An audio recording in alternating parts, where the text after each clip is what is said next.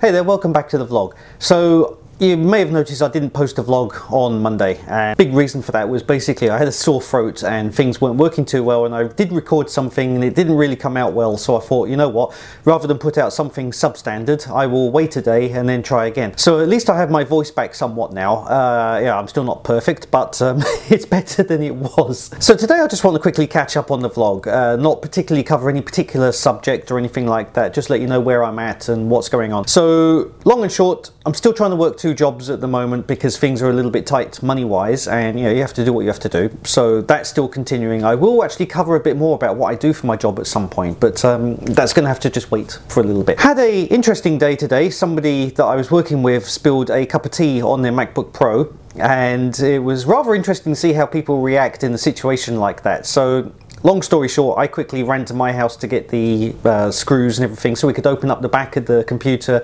get a hairdryer on it if necessary on the internals, uh, mop up any of the stuff that's come through, and also you know, get a bag of rice so that we could stick it in a bag and then put the laptop in with the rice and then hopefully the rice would draw out the moisture.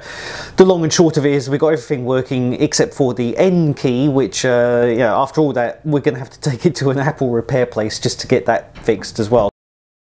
The other thing that's happened a lot since I last spoke to you also is again I've taken on another round of subscribers and again I'm absolutely blown away by how many people are now subscribing and I don't want this to turn into a big thing where it's like every couple of weeks I'm like woo you know how many people have subscribed but it is becoming a, a, big issue. There's more subscribers subscribing to this channel now than there was in the total audience that I went to speak to when I went down to the Yale School of uh, Business Management.